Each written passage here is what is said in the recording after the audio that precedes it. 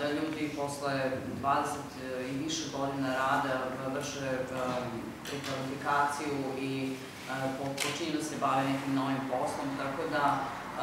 je to nešto što bi takođe trebalo u našoj zemlji u skladu sa promenama koje nosi i tehnološki razvoj, trebalo bi da praktično u tom pravcu i nastavi. HELP kao organizacija i dugogodišnji partner grada Pirota, između ostalog je ovde već duže od 15. godine, ja bih rekla, i ovo je 11. projekat koji u skladu sa ovakvom i sličnim aktivnostima pomaže razvoj i zapošljavanje u gradu Pirotu.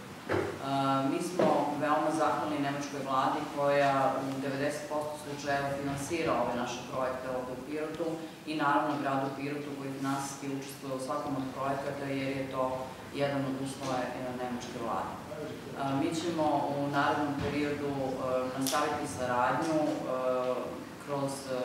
ovakav vid aktivnosti ili nekih drugih sličnih aktivnosti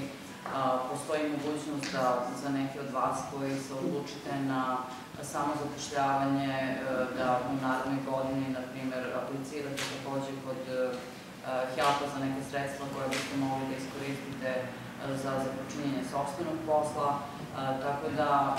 bit će tu i drugih inicijativa, pretpostavljam od strane i nacionalne službe Pirot i, i grada Pirota,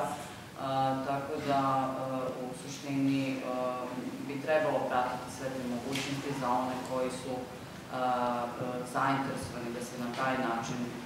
bave poslom i stiču prihode.